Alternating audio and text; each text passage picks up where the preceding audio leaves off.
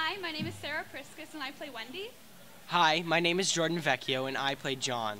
I'm Connor Ray and I play Michael.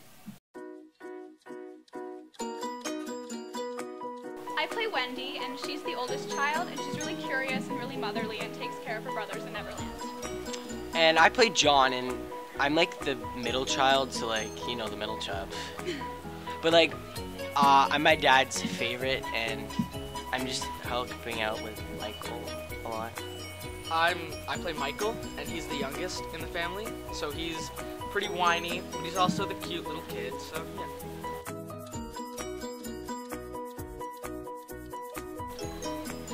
We hope that all boys will die like English gentlemen.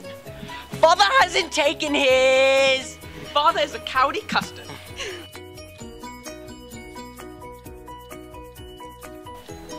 I think my favorite Disney movie is actually Robin Hood, which isn't very popular, but I like it. Uh, mine is probably Finding Nemo. I love Nemo. Uh, my favorite Disney movie is Jungle Book. I just like all the animals in it.